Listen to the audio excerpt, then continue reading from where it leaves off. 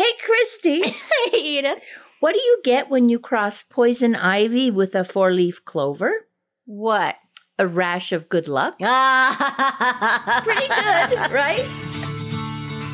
Hi, I'm Christy. And I'm Edith.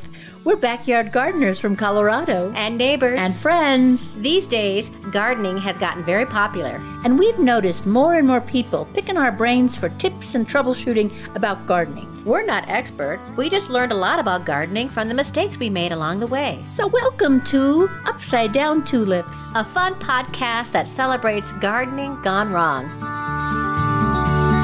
Upside down tulips.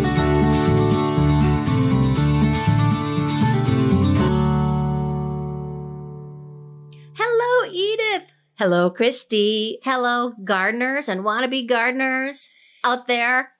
Welcome to Upside Down Tulips. If you have not listened before, we're so glad that you're listening this time. It's a great time to listen because today is the first day of March, Mm-hmm. which means that spring is just right around the corner, which means that we're all going to get out there, Yep. start Yep. digging in the soil. So, if you're a wannabe gardener, this is a really good place to start. Yeah, because we're going to talk today all about the March punch list things you should and shouldn't do in your garden this month. Absolutely. I got an interesting tidbit about March. I heard it said that March winds are necessary to encourage the trees to bend and flex their trunks to encourage the sap to rise and fill the dormant buds with new life.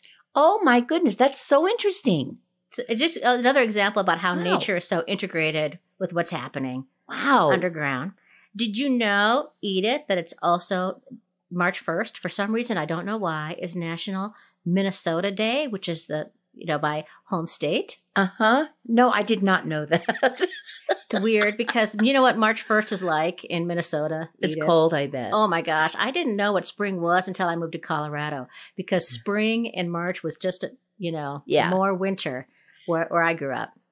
Well, you know, maybe maybe it's National Minnesota Day to encourage people to be nicer. Uh, maybe. nicer. That's right. That's right.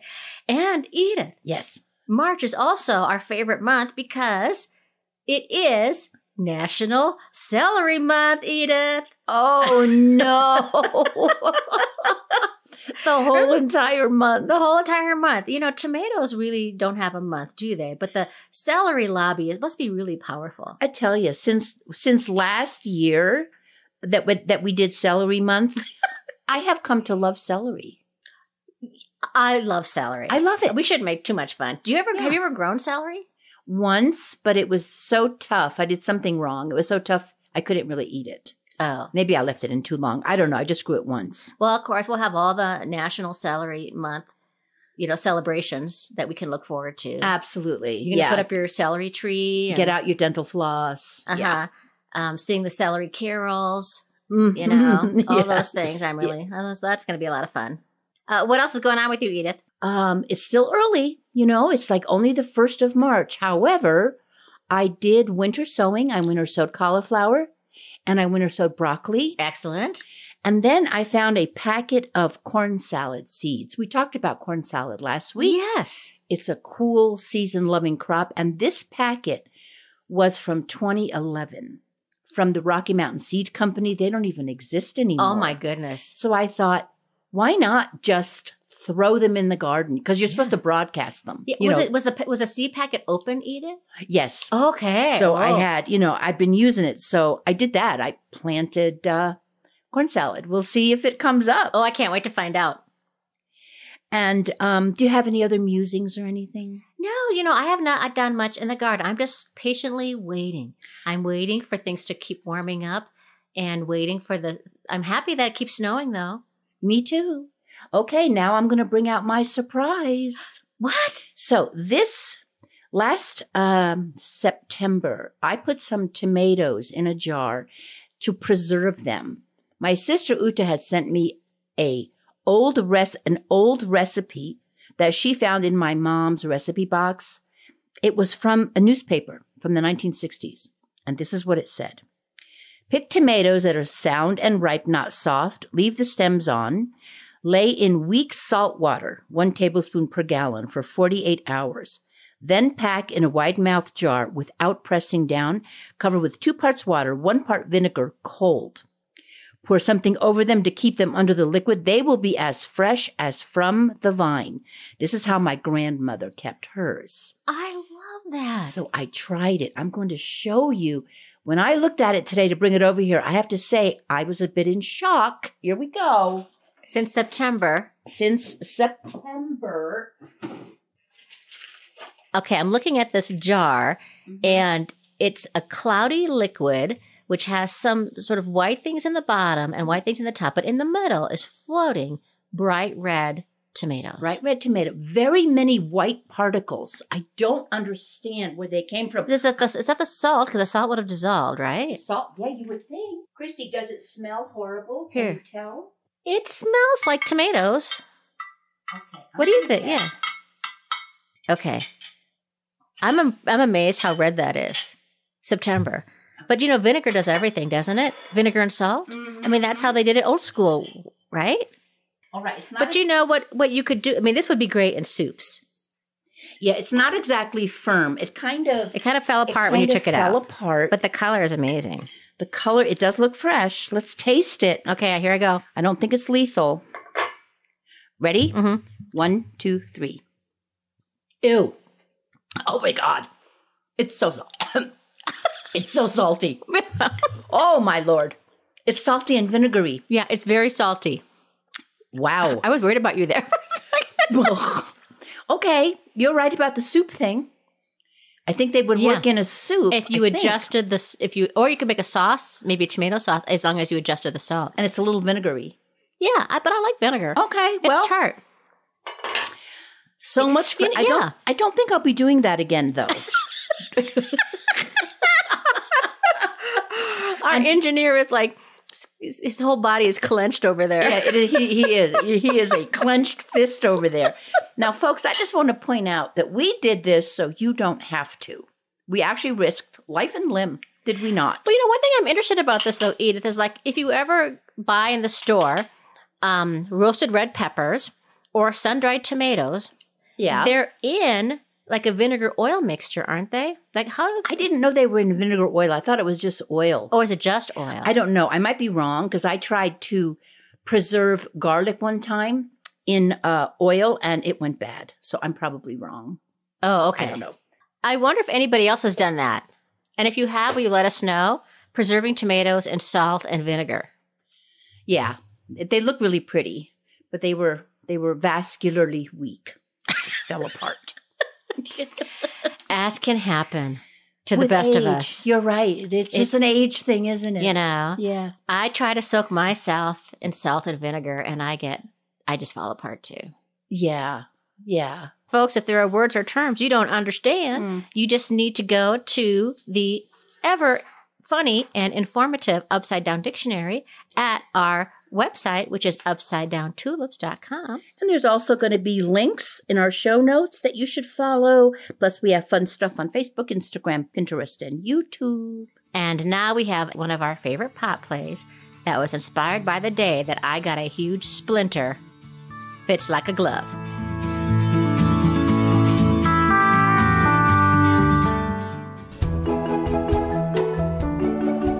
From the makers of My Secret Garden Valentine and Love at First Blight comes a romantic comedy about hands and gloves.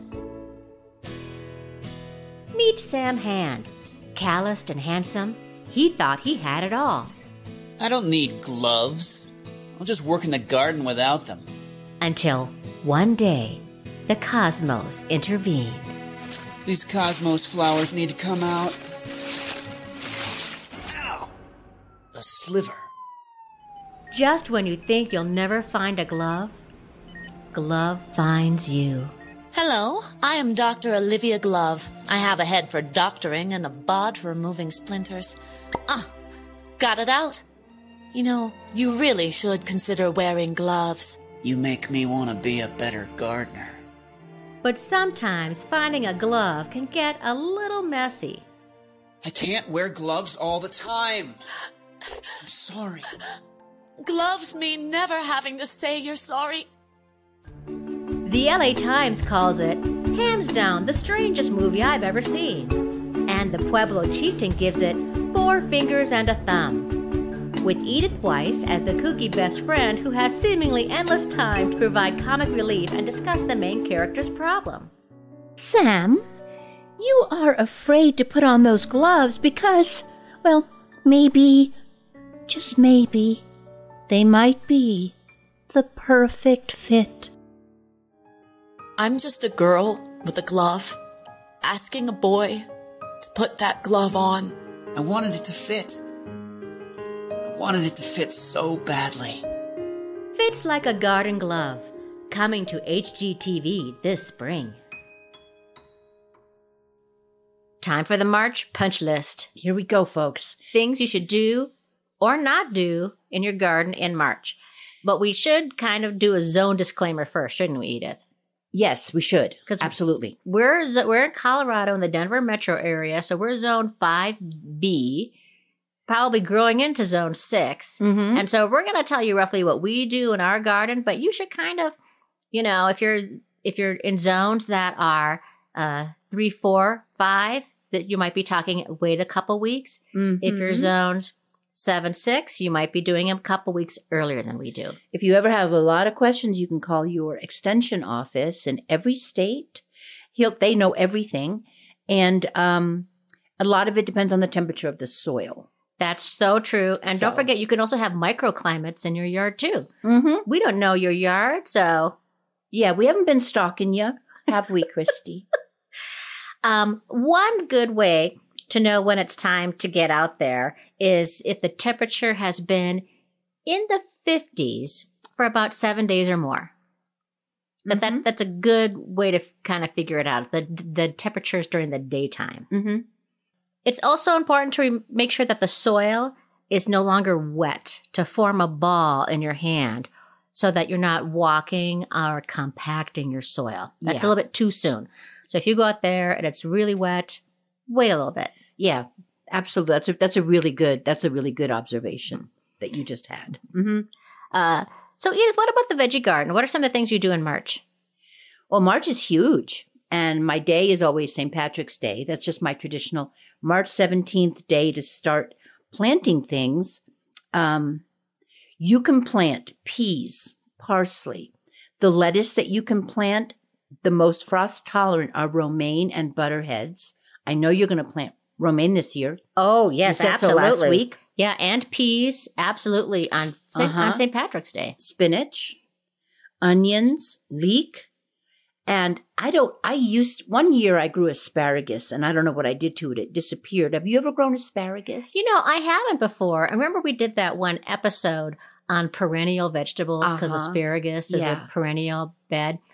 You know, I, maybe I tried it once and I don't think it took. I think is what happened. Yeah. Mine was really, really skinny. It was like pencil, a skinny pencil. I think my problem was was that my soil wasn't right. Mm, okay. Well, if you do plant asparagus, it'll be coming up right. It'll be coming up in March. Oh man. So Yeah. that will not happen to either one of us. So that's what I do outside, Uh-huh. direct sow. I will continue to winter sow, and I will also start seedlings. cl- Well, some of them at the end of the month, Mm-hmm. you know, so that they don't get too leggy and so that they're not too far away from the final frost state. That's And- what makes them leggy. And these are plants you start inside, right? Yes, yes. Start them inside. I put them on the porch during the day in the hot sun, and then I take them in the house in the night. So you have them outside. I do have them outside. When on sunny day, you know how the sun is so warm here. Yeah, especially um, where your porch is. You get all that morning light. I get morning and I get the south Mhm. from the south. So that's how I've always done it, and it works really well. I've noticed it's also a good time in the veggie garden in March just to kind of examine your soil. It's a great Uh-huh. time of year to do a soil test. Mm-hmm. Um, if you want to know if you have, you know, clay soil or sandy soil, we've actually have some homemade tests on our website, Edith, we do, don't that we? people can Yeah. do. But here's a real easy one is that if you grab some soil from your garden, you add a little bit of water, and it's a really big, hard clay ball, guess what? you have clay soil. Yeah. And if you add a little water to it, but it won't form into a boil, a boil, a ball at all, Then you have sandy soil. Now, the thing about clay soil, you can actually break that up by at, by adding compost to your soil, which is another thing I do when I can start working the soil in March to prepare for you know for the warm weather plants. Mm-hmm. I start digging holes and filling them with compost. Oh, excellent, excellent. Yeah, and leaf mold.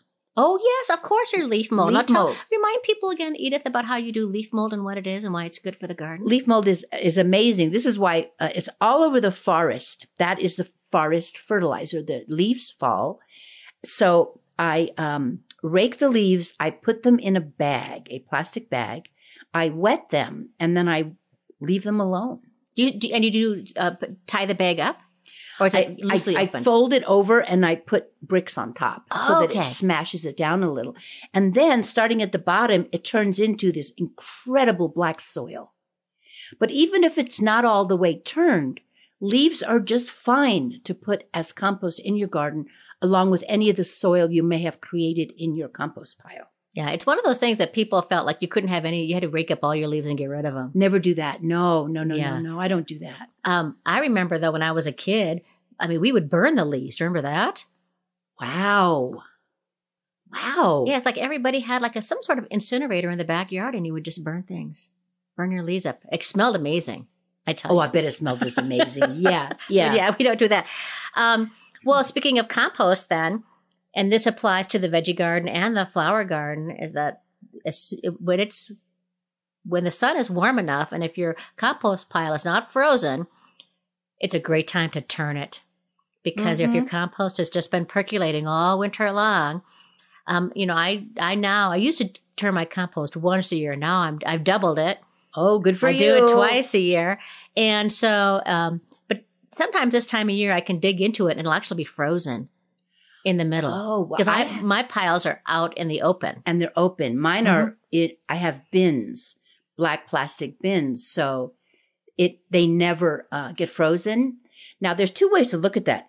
Freezing kind of breaks stuff down, so that's not terrible. But not freezing, I think, also accelerates some of the, the decay. Yes, that's why I always have seeds germinating in my compost pile Yeah, because it doesn't never gets quite that hot enough to get like squash seeds or things Yeah. like that. Um, but it's good. It's great to turn that over to find out what's there, and then to amend your soil. March is a can be a great time of the year to do that. Um, um, amend it now. You can also go out and get some manure or some other, you know, other. You can buy compost or things like that Mhm. to just give it give it a little extra love. Do a soil test first, though. Is what I kind of recommend. I uh, did a Get walk one. around my garden, the parts that are not under snow, because I noticed, believe it or not, I noticed garlic coming up. My Wow. old garlic, not the new ones I planted. And I'm going to go out there every few days and check if I have any of the that lettuce I loved. See if it reseeded like it did last year. Edith, if it receded to 150 plants last year, what could it do? Oh, Oh, my what- gourd! oh my do? gourd! Scary. yeah, I can't wait. I haven't been out to my vegetable garden at all yet because there's snow on it right now, so I'm a little careful about Yeah. heading out there. But I may have my, of course, my parsley will overwinter, so that might be turning green soon. I've been using parsley from the garden. oh, nice. Yeah.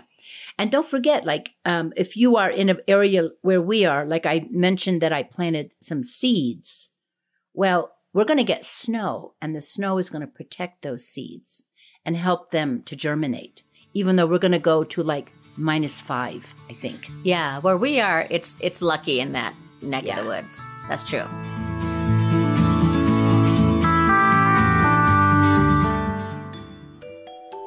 It's a February morning. You've got your coffee, you've got your dogs at your feet, you've got your daily Wordle. You should be happy, but something is missing. Okay, five letters. How about P L A N T? Hmm, I didn't even get one letter. All right then, how about W O R M Y? Not one letter again. M U L C H? No? Oh, come on. I gotta try different letters. S E E D S. No? Oh, wait, here we go. A P H I D. Dang it! Oughta tries again. This is so frustrating. Oh, shoot. I scared the dogs again. Petey, Petey Moss, come here, good girl. Woody, Woodchip, who's a good boy? You're a good boy. Sorry, guys. Mommy's just a little tense for some reason. When you are trying to remember passwords, does there seem to be a pattern? Hello. Thank you for banking Too Big to Fail. How may we help you? I need to transfer some money. For our security purposes and for your protection, what is your secret word and or phrase? Um, I don't remember. The clue is my favorite thing to do. Oh, that's easy. Garden. No. No? Then gardener. Oh, really? Okay. Uh, gardening. No. You have one more chance. The clue again. My favorite thing to do. My favorite thing to do. My favorite thing to do. OMG, when can I start gardening again? That's it. It's a phrase. You really should write that down somewhere. Friends, if any of this sounds familiar, you're a gardener and we know what you're going through. Hang in there. You can still winter sow, or propagate your houseplants, or order your seeds right now. Spring is right around the corner. This has been a PSA brought to you by your friends Christy and Edith at Upside Down Tulips. I am obsessed with Wordle, Edith. So am I. I do it every morning. Mhm, me too. I have 100% so far. I've done it like 25 times. I missed one. Ah, I can't believe how upset I was. I can't even even believe how like I can't believe I didn't get that. Yeah, it's fun. It's a really nice brain waker upper. Yes. You know? I love them. I hate it when there's when a letter repeats. Yeah. That, that he's doing that on purpose to get you. Yes, yes. Yeah. But I just I love Wordle and great job on that pod play. It was awesome. Oh, thank you. So let's keep talking about March punch list things to do in the garden March. Okay. Okay. And uh, of course, a large section of March is about spring cleanup, mm-hmm. which really applies to the flower bed.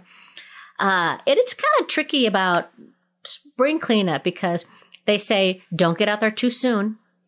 Because if you clean things up in the flower bed too soon, Yeah. you might be exposing the little plants and your perennials to upcoming freezes and things like that. But then they say don't get out there too late because if you get out there too late, it's harder to do cleanup and you could be damaging the sprouts and things like that. yes. yes. So, I mean, you just got to do the best you can and get out there when you can when the weather's nice and it's been in the 50s for a while. Uh, for your perennials, you could consider cutting them back to maybe about five or so inches because all that dead leaves and sticks like that. uh-huh. Um, you get rid of them, put them in the compost pile, or some people do is they just spread them out into the woods. so you have you have left you have not done this in the fall because the bulb or whatever is nourished by the green. Is that correct? Did I just make that up? when it comes to tulips, Uh-huh. Uh, tulips have a bulb, and uh, sometime in July, the leaves will turn yellow and brown, and you can Yeah. just brush them away. So you do want to keep the leaves up on tulips Okay. until they have turned brown or yellow, and that's usually around July. For a, for a perennial bed, um, they'll just have a root structure, and that flower. So a perennial means it'll come back perennially. It'll come back every single year. It's different than an annual, which you just like a like a like a a petunia is an annual. You Yeah. plant it, it goes through its life cycle, and it's gone. Mm-hmm. A perennial will have root structure that will be alive all winter long. In fact, the roots in a perennial will, will actually be very active during the winter. They'll go deeper. Um, but on top, there'll be just a bunch of brown stuff. There'll be brown twigs and brown leaves. What will happen in the spring is that slowly at the base of all that brown stuff, green leaves and shoots will start to come up. And so everything that's brown at the top, you can get rid of. I Okay. suggest leaving it to about five inches or so, not cutting it all the way to the ground, Mhm. because then you're still protecting any little green shoots from potential weird weather freezes. Mm. Oh, okay. And then take the the brown stuff and put it in a compost pile, or you can actually some people just spread it out into nearby woods. Because what could be in those stalks could be little pollinators, little bugs, little Mhm. beneficial bugs that we Yeah. want and like. Yeah. So try, please don't take all that garden waste and throw it in a garbage bag and have the garbage truck come and get it. Mm-hmm. Give it to somebody who has a compost pile. Though a lot of communities right now, they'll have like, you can donate your stuff to a community compost pile, right, Edith? Yeah. So yeah. you can check that out in your in your own area. Can you actually plant any flowers in the now in March? There is one you could do, and that's pansies. Oh, that's right. Pansies Yeah. like the cold. They They're the first too. things that come out at the nursery. You can also plant English primrose out, and they're great in little containers. Okay. I've winter sowed some pansies, so we'll see when they start coming up. But yeah, they're the first thing you'll see out in nurseries, right? Yeah. You could plant them in March, and they might get snow on them, and they'll be okay in snow. Yeah. They might get a little crabby, but they'll certainly pop back. They they have a lot of tolerance for it. If they do get damaged by the snow, if it's a really heavy snow, if you just cut off the damaged parts, they will come back. Uh, oh, and a perennial, yes. Uh, on a perennial, you don't want to. What about on a pansy? yeah. Just cut off the damaged part Yeah. because that way the plant doesn't keep trying to heal itself, Oh, right? that's great. Right, right. Yeah. so that you Cut give it a- yeah, because the exactly because the root structure, like you said, is Mhm. there, and that's the important part. So March is a very busy time for me when it comes to winter sowing, Edith. Uh huh. And folks, this is an outdoor method of seed starting. And we've got other episodes on that. And I'll maybe I'll put some links in the show notes about if you're interested to learn how to winter sow, because March is perfect time to do it. Yeah. Now I already have about 15 jugs ready to go that are outside. And Mhm. these are perennial flowers that need stratification. So these are uh, seeds that need a lot of thawing and freezing for the soil to kind of scrape up against the husk of the seed to have it germinate. However, in March, in early March, there are um, um, other types of flowers and even vegetables and annuals that I will do that just need maybe moderate periods of stratification. So I will start doing some vegetables like you've done, Edith. I'll do broccoli, cauliflower, and leafy greens, or as I also like to call them, Griefies. Griefies, yeah. right? Um, and spinach. Now, sometimes I'll direct sow these into the ground, Mhm. but I think broccoli, cauliflower, those are really great ones to, I have a to winter question. sow. I have a question. Something I just thought of. You know, the broccoli that I winter sowed is pelleted. That means that they have a a coating on it, so that because broccoli seeds are so tiny. hmm Do you think that's going to have anything to do with the stratification? I think it'll be fine. Okay. Yeah. Well, we'll we'll find out. That's right. Yes. Um, you can also do some herbs right now in early March, like dill or thyme, oregano, parsley. Those are great herbs to winter sow too. Oh, good. You and you can direct sow parsley. Parsley's a it does not mind that. That's a good point too. Mhm. I think the difference would be is if you want to just get more assurance in your germination, and then if you want to be able to put it where you want to put it Mm-hmm. in the garden, yeah. That's you know, it's another aspect of the success of winter sowing. So when it comes to late March, I will winter sow annuals like zinnias, cosmos, marigolds, calendula. Okay. I'll start doing that because it'll just be you just want some warmer. More, these plants want more consistent warmth. Yeah. Uh, when it comes to vegetables, you can also start winter sowing end of March ish. Carrots, peppers, pumpkin, squash, like zucchini, Uh-huh. and even tomatoes. Last year, I successfully winter sowed tomatoes, and then I kind of neglected them, and that was totally my bad. So I'm going to try to be better at it this year. Mm-hmm. And oh, basil! You can at the end of the month you could winter sow basil Okay, that's good. um, or other annual annual type herbs. What can also happen when you winter sow in is it's possible that some of your little milk jugs will germinate in March, depending upon where you live. You should just keep an eye out for it because if they start to germinate, then you get a cold freeze, you could lose it.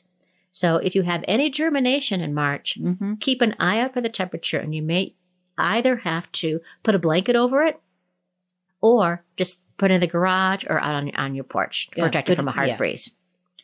Uh, Edith, what about uh, trees? What are you pruning trees Mhm. is also done in March. Now the there's a sweet spot between you really have to be a weather watcher, you know, to be a gardener because there's a sweet spot between when it's too cold in the winter and it'll damage the cutting the tree will damage it, Mhm. but you want to get it before the sap rises. Yeah. So that usually, that's usually, I keep an eye on the weather. And if, like, I won't do it when I know it's going to get really super cold, but Okay. I will do it in March. Um, Because if you wait too long. if you wait too long, then it damages the tree because the sap is already rising. Oh, gotcha. So you want to, any hor- any, you know, like vertical branches, any branches that touch each other. Mm-hmm. Too many branches on a fruit tree. And we're talking, I have a peach and an apple.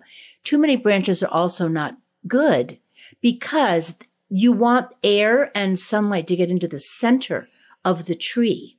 Isn't that interesting? Because you would one would think that more branches mean more fruit and the tree's so happy, but you really do have to. More branches Open it up. means more tiny fruit, some of Ah. which don't ripen. Mm. So, I mean, I also cull the, the peaches when they come, but it's really important to prune. And those are the two things that I do prune. Here's a list of some of the things that I have that things you should not do in March. Okay. depending upon where you live, of course. Give it a week or two. Um, but in our zone, folks, leave your roses alone. Okay. Uh, people often think, oh, as long as I'm trimming things back. Yeah. But what you're in danger of is if, if you is you're if you cut it back, you're encouraging the rose to start to green up, and you could still get snow and freezes. And all it takes is one bad snow or freeze, and you Mhm. will kill off that rose plant. It is interesting, but pruning anything does encourage it to grow, makes it stronger. Interesting, Yeah. huh? So leave your roses alone in our neck of the woods until the end of April. Okay. That's what I do. That's good. The same is true, I think, for woody shrubs like lavender. Wait until the end of April. Okay. The plant will tell you, a lavender plant will tell you when it's okay to prune it because you'll see it start to green up. hmm And if it's starting to green up, then you know that's when it's time to do it. So that's more of an April, May punch list for me. Okay. Um, also, and something you should not do in March is don't lay mulch everywhere. What you're doing is you're smothering all your little Yeah. baby uh, pollinators Yeah. and beneficial bugs. So that's more of an April task too, as I think. Good. It's about mulch. Just Good, wait. good. Oh, we have to be patient, don't we? We have to be patient, but March is busy. Get busy, gardeners. Yeah, we have enough things to do. Don't worry about those. Yes. Christy, Edith, what time could it be? oh, please tell me. I think it might be mailbag time. Oh, thank heavens. Whoa. Ring, ring, Ring, ring.